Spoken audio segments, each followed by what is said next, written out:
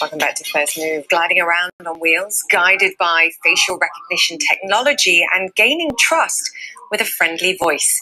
These robots are doing the work that humans sometimes can't during this pandemic, getting close up with COVID patients and even connecting them with loved ones via a built in tablet. As the CEO says, these robots are bringing humanity to hospitals. Balaji Viswanathan heads up India's Invento Robotics and he joins us now. Balaji, fantastic to have you on the show. Just explain what these robots are capable of because when I was watching them online and reading about it, I was totally blown away. Thanks, Julia. Good morning to you. These robots are uh, companion robots and they, they work as medical assistants in in couple of environments. The goal is to be able to uh, provide healthcare access in multiple locations and reduce the risk that the many of the medical workers face. So these robots converse with the patients. We have a lot of conversational intelligence in the robot, and it, it speaks with the entire body, including its eyes and uh, and the body and then it uh, then it has multiple diagnostic equipments on it, including stethoscope and uh, pulse oximeters, thermometers, to help the remote physician do a much better diagnosis. We call it as an avatar for the uh, physicians.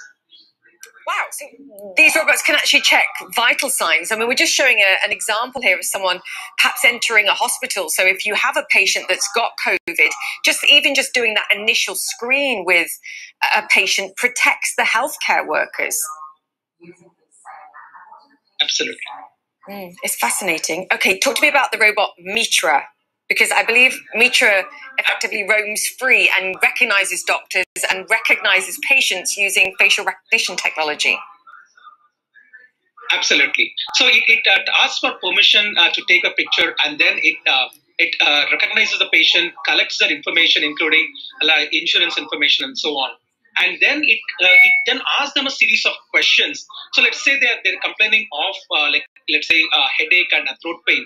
We'll be asking them a series of questions to identify uh, what could be the potential uh, doctor we, could, we should connect to. And then it also uh, uses its vitals collection and pushes them all into an electronic health record system for the physician to remotely see the patient and then make a call whether they should bring the patient in or or give the uh, give the prescription right there.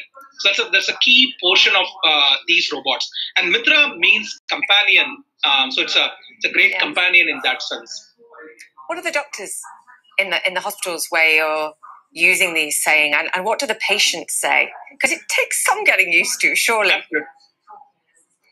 Absolutely, and, and both of them, uh, it, it, it, takes uh, some getting used to. For for uh, many patients, it is a like you know what's going on? Like you know it's a it's a very very different uh, uh, thing from what they are being used to uh, like you know visiting decades uh, of, of a hospital. So so some patients they have a initial intimidation thing so that it takes some time to get used to. While others they actually uh, like forget that they are in a hospital they actually cheer up and, and start getting into deeper conversation with the with the hospital. So it, it uh, so it the the perception is, is, is, quite wide and we are trying to uh, make it uh, more and more easier for those who feel uh, intimidated because of it's a new technology to, to get um, uh, more acclimatized to the robot. And physician yeah. side also, so again, they are trying to figure out how do we better use it because it's a brand new technology for most physicians. So in, in both sense, it takes some, some uh, getting used to uh, and that's true for any technology. I'm sure it's not long before the selfies uh, get start to, start to be taken. Um, talk to me about data privacy because one of the things that struck me there as you were talking and as this data is being collected and fed through to various systems, how do you protect people's data? Absolutely. Very, very important uh, question. And uh, we are HIPAA compliant and we go through multiple rigorous standards that the US uh, and, and, various governments uh, set.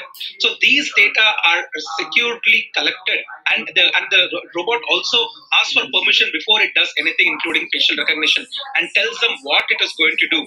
And this data is securely used only for the uh, hospital purposes and, and, and uh, nothing else. And, and these live in a server encrypted and so that um, there is there is very little chance of it getting uh, misused anywhere because it, it uh, the whole thing uh, uh, lies on trust and uh, and and uh, this thing from the patient. So of course, privacy has been one of the key things that we have been working on. Talk to me about cost too. What does a Mitra cost, and how quickly does it take to build one? Um, so the cost varies uh, uh, from uh, like depending on the volumes and, and so on. Um, so it, it, can be somewhere in the range of uh, $700 a month uh, to about $1,000 a month is a, is a typical, we call it as a robot as a service. So these robot workers are, are hired by hospitals uh, in, in that sense. And um, so we are kind of like slowly ramping up our production. At this point, it takes about three days to make a Mitra. Um, we are trying to cut down the time even more and trying to get into economies of scale this year. Wow. So it, robot as a service, you rent a robot. So you just pay the 700 to $1,000 a month, or do you have to pay a cost up front as well? Absolutely. It's about a $3,000 upfront a cost for setup and so on. So it, it works like hiring a, a, new worker to your team. So this Mitra is, is, a part of a team of medical assistants and, and nurses. And very quickly, how much interest are you getting? I'm sure it was tough to sell to the healthcare sector initially, and now I'm sure you're being overwhelmed. What kind of interest are you seeing? And obviously, you're doing Absolutely. it in India, but are you hearing from elsewhere in the world too? Absolutely. And uh, in fact, we could not make it fast enough. Right now, we are selling in five countries, including Australia, Singapore, and, and uh, uh, in UAE. And before the pandemic, um, while the physicians and hospitals recognized the problem, uh, but they were not sure um, how much the patients would accept. So, so the, it was going a bit slower, uh, primarily because they were worried about patients' perception. But after the pandemic hit, uh, patients were actually more okay dealing with many of these uh, this thing because it cuts down their wait time and also gives them a quick access. So patients were getting more okay, and that means uh, the hospitals were also getting on board uh, quite uh, quite quickly. Fantastic, Balaji. Great to have you on the show. Keep us up to date with progress the CEO of Invento Robotics there. Thank you for your work. You're watching First Move.